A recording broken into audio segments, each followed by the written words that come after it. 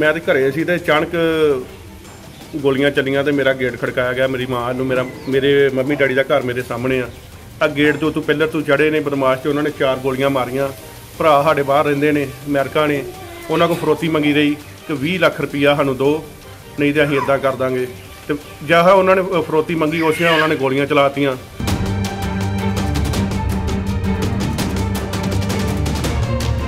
ਉਸ ਤੋਂ ਬਾਅਦ ਦੂਜੇ ਦਿਨ ਫਿਰ ਉਹਨਾਂ ਨੇ ਸਵੇਰੇ ਧਮਕੀਆਂ ਦਿੱਤੀਆਂ ਕਿ ਜੇ ਤੁਸੀਂ ਇਦਾਂ ਕਰੋਗੇ ਪੁਲਿਸ ਕੀ ਕਰ ਲੂਗੀ?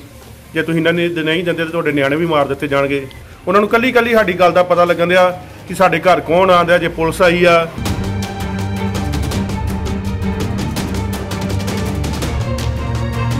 ਤੇ ਰਸੋਈ ਦੇ ਦੇਖੋ ਰਸੋਈ ਦੇ ਆਰ ਪਾਰ ਗੋਲੀ ਹੋ ਗਈ ਆ। ਜੇ ਕੋਈ ਰਸੋਈ ਦੇ ਵਿੱਚ ਹੁੰਦਾ ਜਾਂ ਬੱਚੇ ਘਰ ਹੁੰਦੇ ਤੇ ਇਹਦੇ ਬੰਦਾ ਉਦਾਂ ਜੀ ਕੋਈ ਮਾਰ ਦੇਣਾ ਸੀ ਜੇ ਸਾਡਾ ਉਹਨਾਂ ਨੇ। ਆ ਕਿਤੇ ਜਦੋਂ ਦੜਾ ਦੜ ਗੋਲੀਆਂ ਚੱਲਣ ਲੱਪੀਆਂ ਹਾਂ। ਤੇ ਉਦੋਂ ਪਤਾ ਹੀ ਕਿ ਗੋਲੀ ਕਿੱਥੇ ਚੱਲ ਰਹੀ ਹੈ। ਦੇਖਿਆ ਤਾਂ ਉਹਨਾਂ ਨੇ ਜਦੋਂ ਬਾਰੀ ਚ ਮਾਰੀ ਤੇ ਸ਼ੀਸ਼ਾ ਤੜ ਤੜ ਕਰਕੇ ਡਿੱਗਾ ਤੇ ਫੇਰ ਅਸੀਂ ਬਾਹਰ ਨਿਕਲੇ।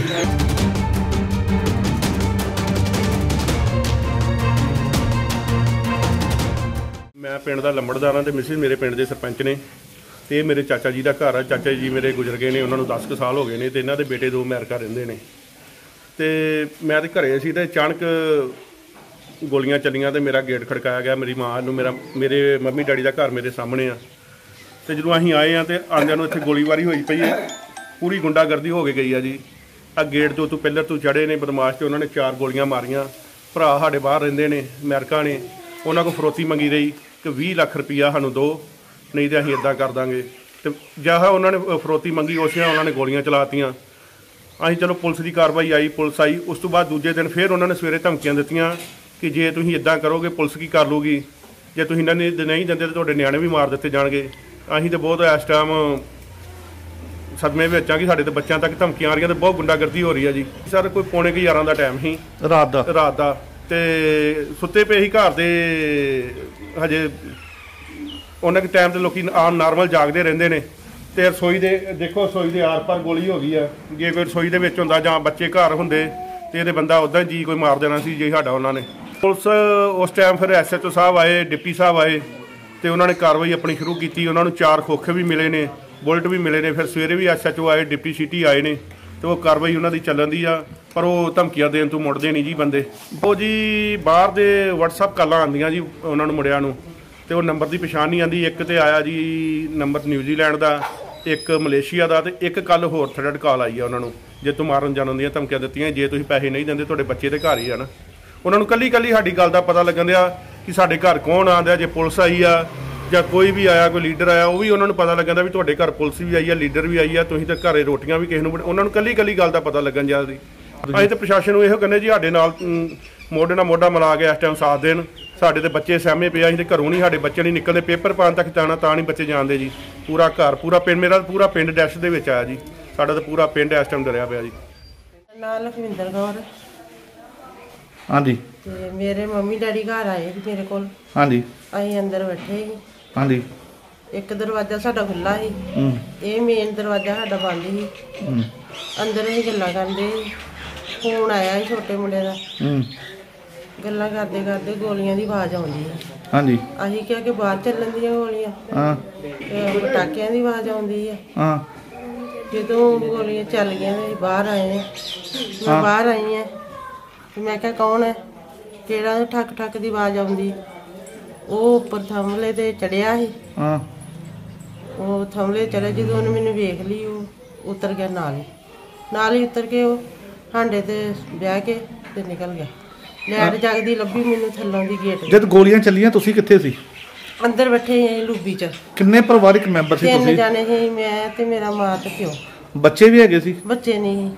ਉਹ ਆਪਣੇ ਉੱਥੇ ਗਏ ਨਾਨਕੇ। ਅੱਛਾ। ਹਾਂ। ਤੇ ਉਹ ਕੋਈ ਵਾਰਨਿੰਗ ਵੂਰਨਿੰਗ ਦਿੱਤੀ ਤੁਹਾਨੂੰ ਉਹਨਾਂ ਨੇ? ਕਿ ਬੇਟਿਆਂ ਨੂੰ ਦਿੱਤੀ। ਕੀ ਦਿੱਤੀ ਹੈ ਜੀ? ਬਾਹਰ ਬੇਟਿਆਂ ਨੂੰ ਨਹੀਂ ਦਿੱਤੀ ਆ। ਹਾਂ। ਕਿ ਮ- ਆਪਣੇ ਮੰਮੀ ਪਾਪਾ ਨਾਲ ਗੱਲ ਕਰ ਲਓ। ਘਰ ਗੋਲੀਆਂ ਚਲਾਏ ਆ। ਤੇ ਉਹਨਾਂ ਦਾ ਵੇਖ ਲਓ ਕੀ ਹਾਲ ਹੁੰਦਿਆ। ਤੇ ਫਰੋਤੀ ਮੰਗੀ ਉਹਨਾਂ ਕੋਲ 20 ਲੱਖ ਦੀ। ਹਾਂ। 20 ਲੱਖ ਤਿਆਰ ਰੱਖੋ। ਤੇ ਨਹੀਂ ਦਿੱਤੀ ਧਮਕੀ ਦਿੱਤੀ? ਨਹੀਂ ਤੁਸੀਂ ਫਰੋਤੀ ਦੀ ਕਾਲ ਨਹੀਂ ਮੰਨੀ ਤੇ ਤਾਂ ਇਹ ਘਟਨਾ ਹੋਈ ਹੈ।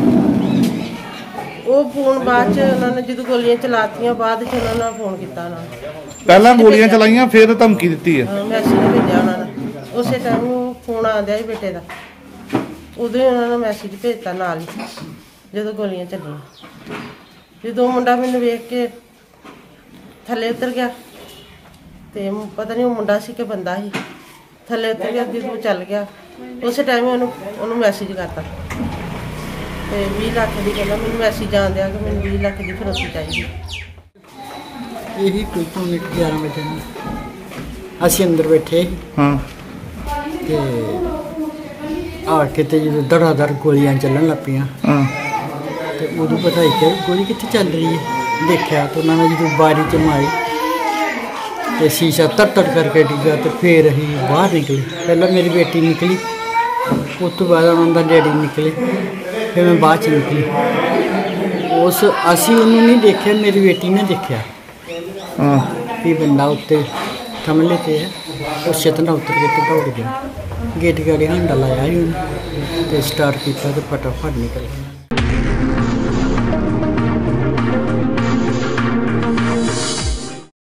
ਪਿਆਰ ਕਰਨਾ ਜਾਂ ਛੁਡਵਾਣਾ ਵਸ਼ੀਕਰਨ ਲਵ ਮੈਰਿਜ ਪ੍ਰੇਮੀ ਨੂੰ ਮਨਾਉਣਾ, ਘਰ ਵਾਲੇ ਮਨਾਉਣਾ, ਪਤੀ ਪਤਨੀ ਵਿੱਚ ਝਗੜਾ, ਆਪਸੀ ਅਣਬਣ, ਸੱਸ ਨੂੰ ਦਾ ਝਗੜਾ, ਕਿਸੇ ਦਾ ਬੇਟਾ ਕਿਸੇ ਦੂਸਰੇ ਦੇ ਕਹਿਣੇ 'ਚ ਹੈ ਜਾਂ ਕਿਸੇ ਦੀ ਬੇਟੀ ਕਿਸੇ ਦੂਸਰੇ ਦੇ ਕਹਿਣੇ 'ਚ ਹੈ।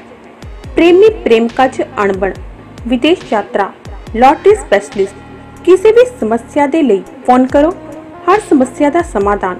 ਸਿਰਫ 3 ਘੰਟੇ ਵਿੱਚ ਵਿਸ਼ਵ ਪ੍ਰਸਿੱਧ ਬਾਬਾ ਹਰਦੀਪ ਜੀ 골ਡ ਮੈਡਲਿਸਟ ਨੂੰ ਫੋਨ ਕਰੋ, ਜਿਨ੍ਹਾਂ ਦਾ ਨੰਬਰ ਹੈ 95012 84753 ਤੇ ਦੇਰ ਕਿਸ ਗੱਲ ਦੀ? ਹੁਣੇ ਬਾਬਾ ਹਰਦੀਪ ਜੀ ਨੂੰ ਕਾਲ ਲਗਾਓ, ਸਮਾਧਾਨ ਪਾਓ, ਜਿਨ੍ਹਾਂ ਦਾ ਨੰਬਰ ਹੈ 95012 84753 ਜੀ ਹਾਂ।